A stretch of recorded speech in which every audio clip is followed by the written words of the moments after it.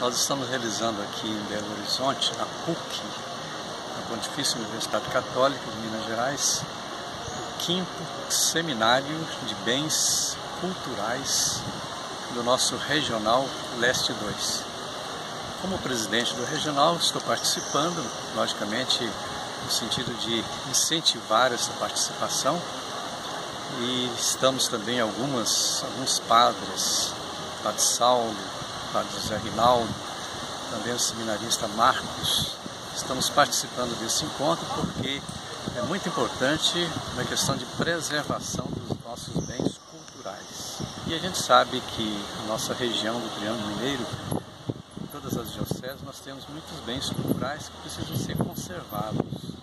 Questão de livros, questão de imagens, questão das igrejas.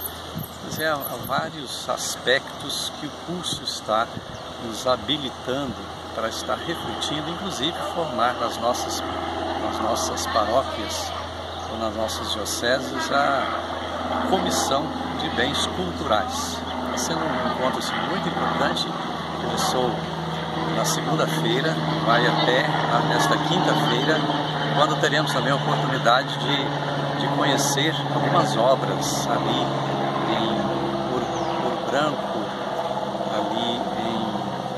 Ouro Branco, Preto, essa região onde a gente tem uma cultura muito importante e que precisa ser preservada e a gente saber como lidar com esta realidade, sabendo que, que a gente recebeu de legado no passado, a gente possa preservar hoje e deixar para o nosso futuro, também para os nossos descendentes, né, o valor da, da questão cultural.